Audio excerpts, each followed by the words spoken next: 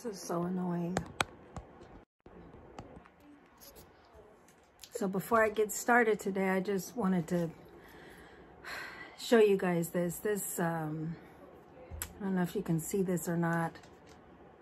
This uh, happened yesterday before I was getting ready to start doing my videos, which is why I ended up not doing videos. can you guys see that?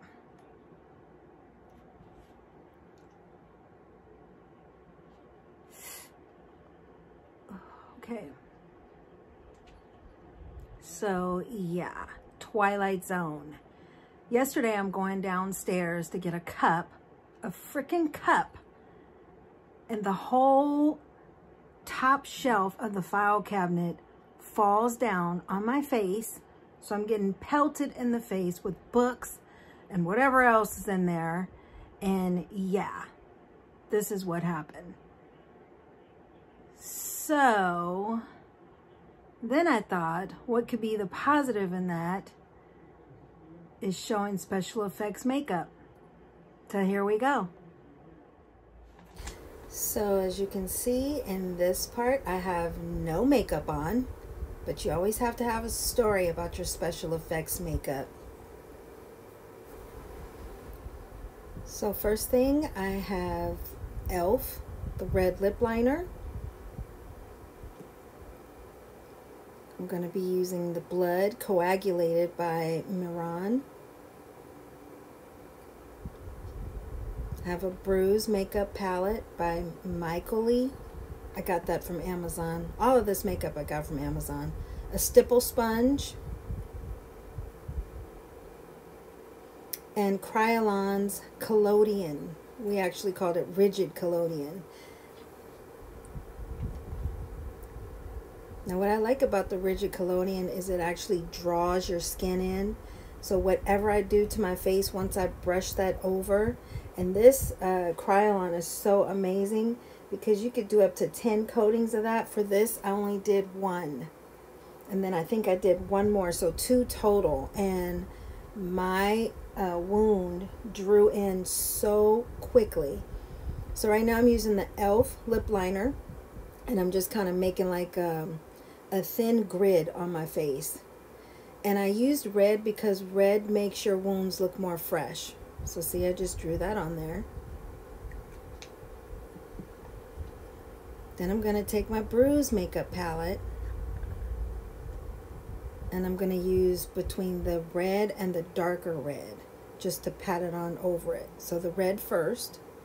And remember now, the red actually intensifies it. If you want your wounds to look old, you use a dark red or um, black or blue underneath and then when you put the blood on it looks like old blood. So this is just going to make it look more fresh.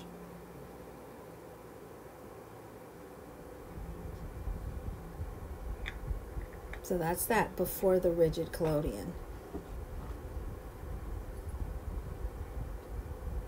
And I just love this because if you're in a hurry, you're going to a party and you don't have time to do all the fancy stuff, that collodion will just set everything off and you're good to go and it lasts for hours.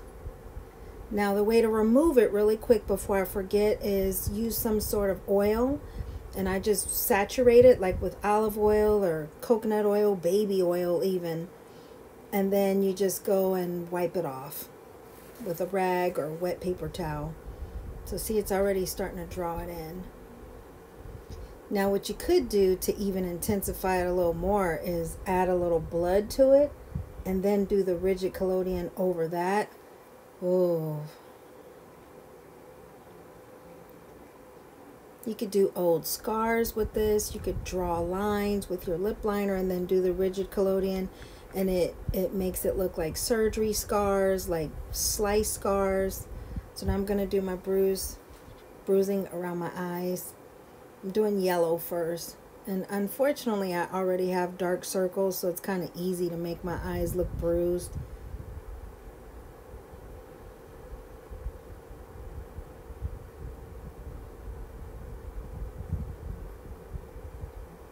Now next time, because I am going to be doing another special effects makeup uh, video, I ordered the third degree makeup so I'm going to be playing around making the scars look thicker you know the skin more elevated.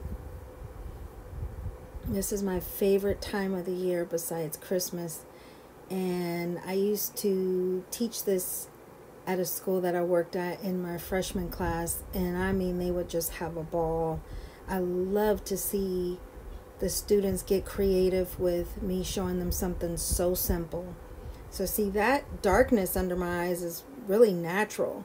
But I'm placing a little bit of blue. I did yellow first and then blue. Now with the blue you want to be light because it's so powerful. It can overpower your bruising. But you always want to have a little bit of blue in there to intensify it. So I'm using blue, I'm using red and burgundy, yellow, and a little bit of green. And you know how your bruising goes through phases? So it starts off like really dark blue and reddish, and then you start seeing the yellow and the green in it. Almost like a rainbow when you get bruised.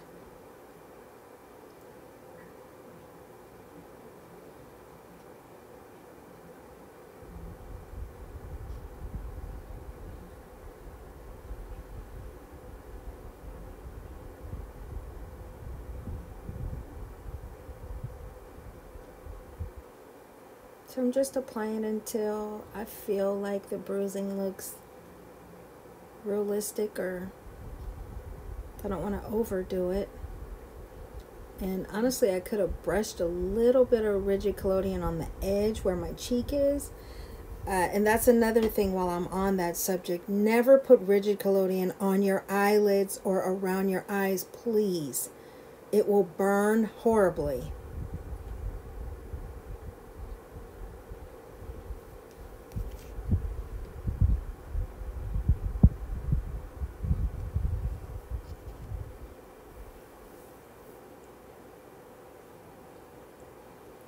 adding a little green to it.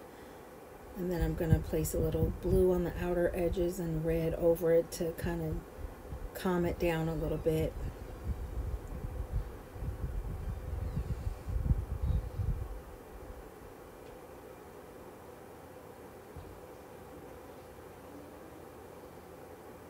Dabbing a little bit on my other eye.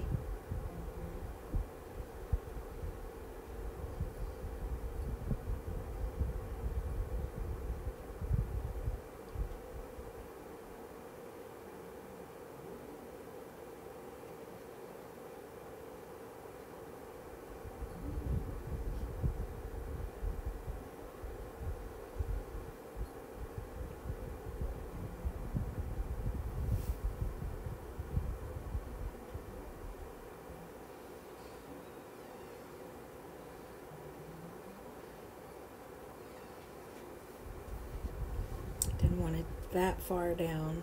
But I'm trying to make it where it doesn't look like a perfect bruise. These bruises are not perfect. And that's the fun thing about it too. It's not perfect. And there you go.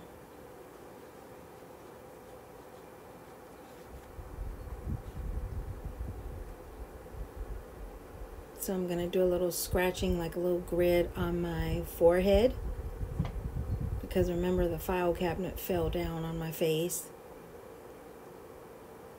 And remember the red intensifies it.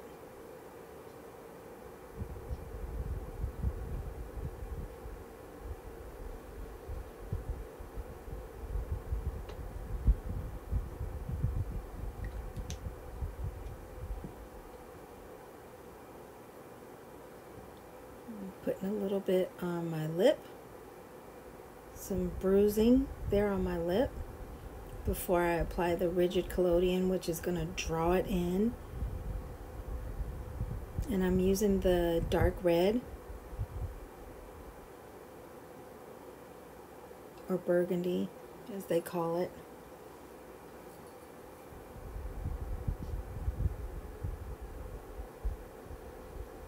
And I'm just kind of dabbing over that grid so it looks like scratches.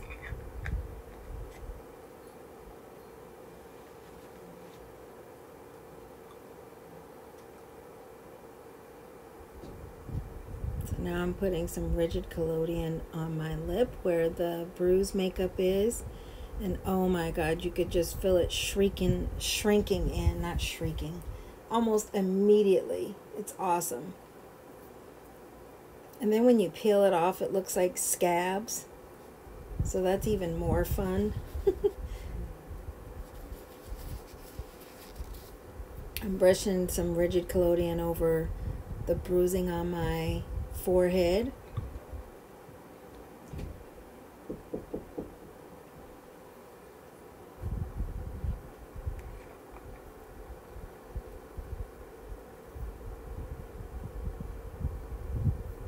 Put a little bit more bruising on top. But it's not as intense as I want it to be. Still looks bad, but not as bad. Put some blood and rigid collodion over it to make it more intense. I hope you guys enjoyed that. I know I did. God bless you guys. And I will see you next time when I do my virgin bleach video. Bye, guys. Ow. Oof.